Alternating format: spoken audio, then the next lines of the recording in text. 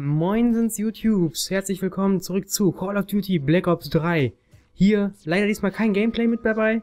Ich kann euch nämlich leider keine weiteren Spezialisten zeigen, sondern nur die, die halt ich jetzt noch nicht gezeigt habe, kann ich euch mal nennen, was es so alles gibt. Zum Beispiel hier beim Ruin gibt es den Schwerkraftstachel, Stacheln, die eine Explosionsschockwelle erschaffen, wenn sie in den Boden gerammt werden. Zerstören alle Feinde in direkter Umgebung. Der Skill ist zwar ganz geil, aber ich habe mir gedacht, die anderen sind cooler. Ich habe wohl die anderen besser zeigen und hasse nicht gesehen. Deswegen habe ich den Skill erstmal nicht geskillt. Und ich habe halt jetzt einfach keine Token mehr, dass ich mir wieder was freischalten könnte. Das wird dann sehr wahrscheinlich nachgereicht, wenn das Endgame dann draußen ist. Dann habe ich dann genug Token für alles. Und dann wird das auf jeden Fall nachgereicht. Dann haben wir beim Outrider haben wir alles gezeigt. Beim Profit fehlt der Sturm. Das ist ähm, Laden sie einen Blitz auf, der Feinde durch einen Stromstoß eliminiert und dann auf andere Feinde in der Nähe überspringt. Das ist ganz cool eigentlich auch. Dann ist One-Shot-Waffe, dass man zum Beispiel einen Gegner trifft, der fällt um und wenn ein anderer Gegner in diesen Gegner reinläuft, dann stirbt er auch noch damit. Ist auch ganz cool auf jeden Fall.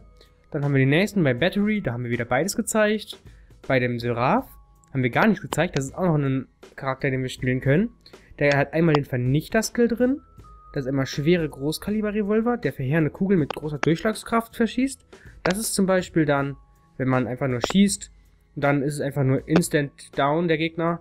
Das ist einfach alles, was man damit machen kann. Und dann gibt es noch Kampffokus. Bei Aktivierung bringen alle verdienten Punkte einen Bonusmultiplikator für Punkteserien.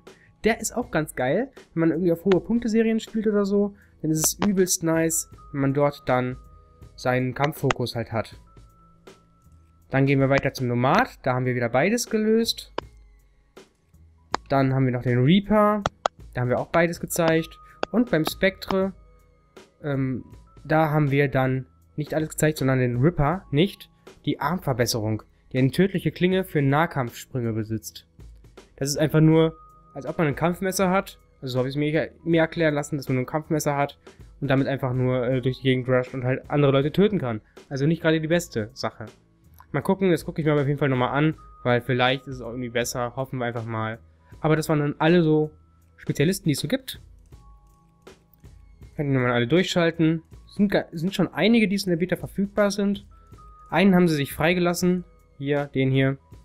Und dann sage ich aber erstmal wieder Danke fürs Zuschauen. Lasst eine kleine Bewertung, wenn es euch gefallen hat. Und schaut auch beim nächsten Mal wieder rein bei Call of Duty Black Ops 3. Ciao, ciao.